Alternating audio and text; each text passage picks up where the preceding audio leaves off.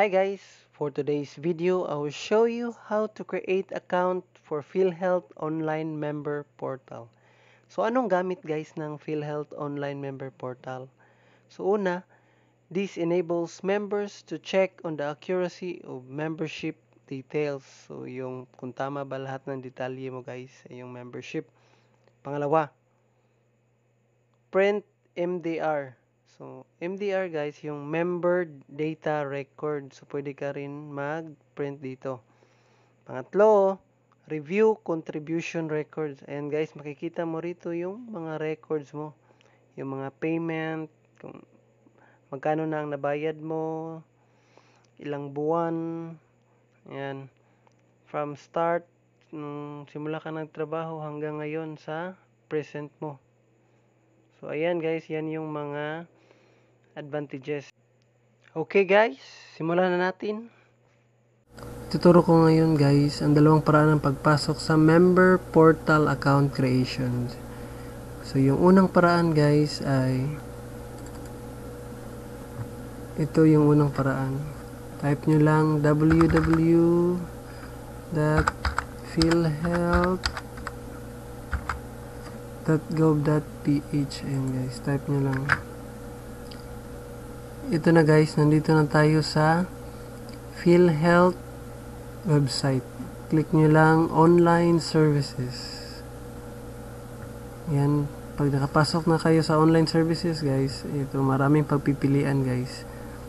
May member portal, electronic group enrollment system, electronic registration, case, rate search, claims, eligibility, and checking. And ang click natin guys ay yung member portal yung register login. Yun guys pag nakapasok na kayo ito yung makikita nyo guys. Yung PhilHealth member portal. Click nyo lang itong create account at papunta na kayo dito sa member portal account creation. Yan guys ito yung unang paraan guys. Yung pangalawang paraan naman yung next na ituturo ko yung pangalawang pamaraan guys, yung ituturo ko naman, ito yung shortcut guys, para madali kayong makapasok dito sa member portal account creation. Step 1, open your browser. Ayan guys. Step 2, go to, ayan, ilalagay ko ito guys sa description sa baba. Kapihin nyo lang para madali kayong makapasok. Ito yung shortcut guys. Ayan. Step 3, create account. Click create account. Ayan guys. Step 4, enter the basic information needed. So, ilagay nyo lang guys yung information na hinihingi. Yung PhilHealth identification number, yung last name mo,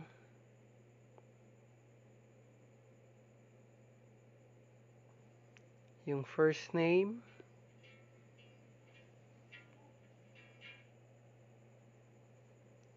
yung birth date mo,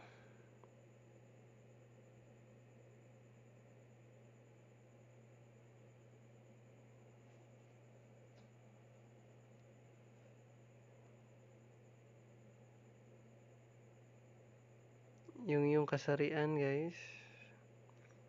And then yung email address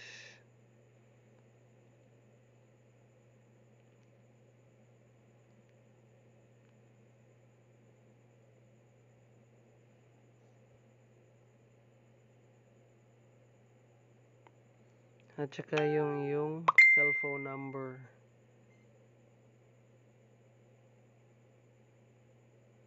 Step 6, create a password. Input the captcha and click create account. Ayan guys. So, pag na-input mo na yung preferred password guys, so i-confirm mo guys.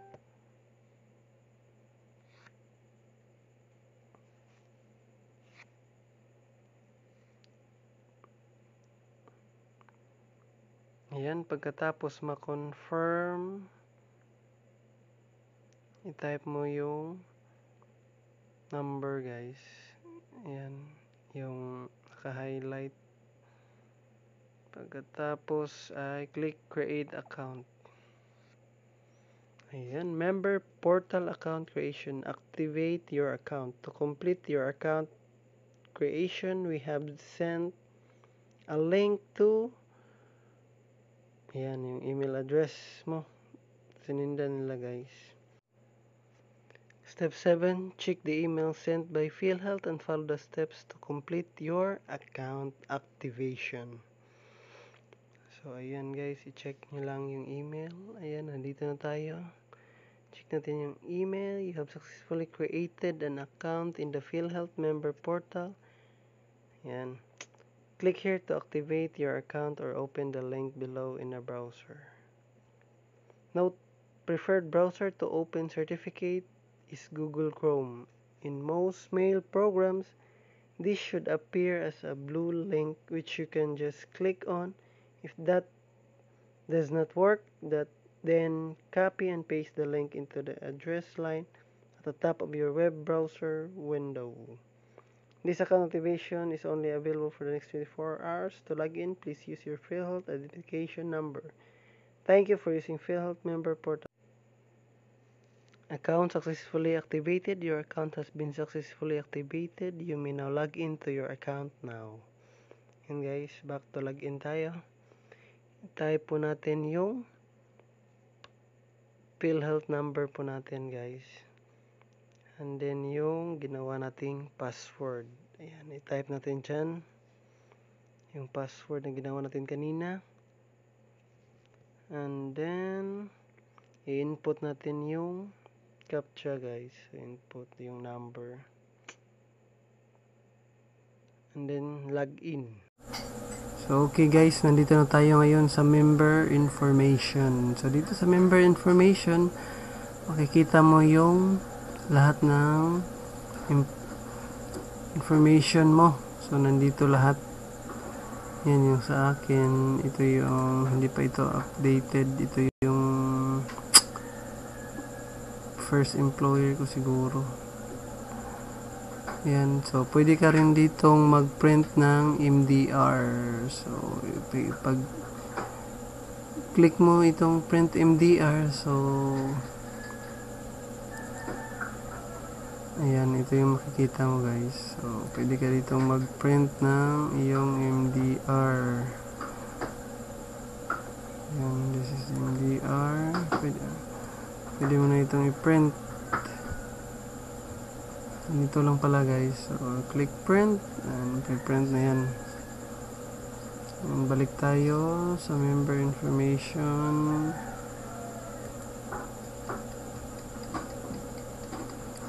Check natin yung employer information. So, sa employer information, employer number, employer name, address ng employer mo.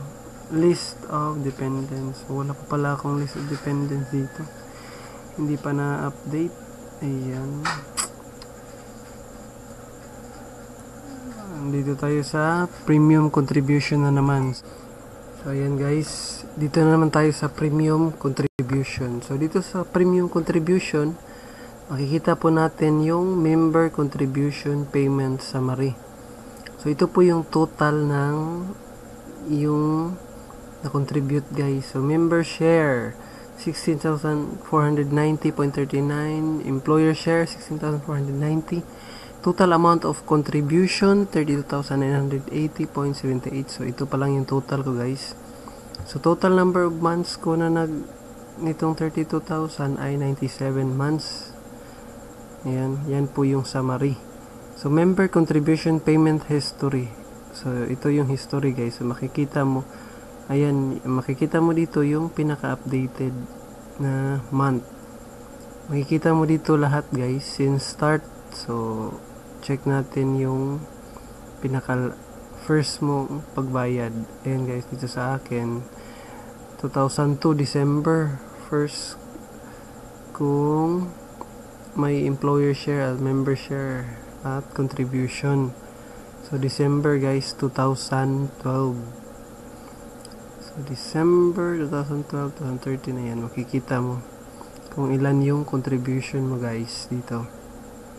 Pwede ka rin guys, mayroon ka rin option na mag-select ka kung gusto mong malaman kung magkano ang yung na-contribute for specific month. For example, March. Try natin select March 2020 guys. Tapos, from March 2020 to January 2021. So, ayan. Search natin. So, ito na guys. Makikita natin sa member contribution payment summary ay yung total member share. So, 2,671.57 pesos lang guys. Ayan, pati member at saka employer share, same lang. Total amount of contribution, so ito lang yung na-contribute ko guys, 5,000. So total number of months, so 11 months lang siya from March to January, ayan. Makikita mo dito, so ito na guys, so from December 2020 Ayan, isang page lang siya guys, December 2020. So, at saka, ayan, March, ayan, ito pala. March 2020 to January, ayan. From March, April, May, June, July, until January, ito yung contribution ko guys. So, it, ito yung makikita natin sa premium contribution. Yan, dito naman tayo guys sa user profile tingnan natin kung makikita natin dito. So, makikita natin dito ay yung PhilHealth identification number natin guys. Ayan, PhilHealth number, email address. Ayan yung email address guys na pinadalhan nila. So, mobile number. So, mobile number na nilagay mo kanina. Pwede ka rin dito guys, pwede ka dito mag-change ng password. So, dito pala tayo mag-change ng password. So, lastly, log out guys pag tapos ka na. Kung may tanong kayo guys, i-comment nyo lang sa baba. Ibibigay ko ang aking best na masagot yung, yung mga tanong. Para makapasok kayo agad guys, yung link ay ilalagay ko na sa description box. So ayan guys, kung may natutunan kayo sa video ito, please make sure to subscribe and hit the notification bell. But don't forget to like, share, and comment below. Thank you guys!